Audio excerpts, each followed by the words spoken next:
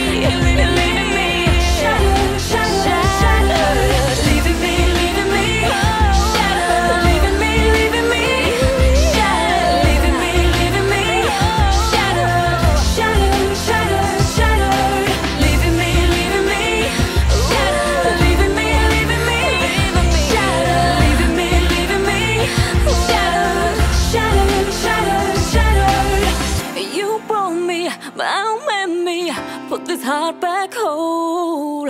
And I mean this more than.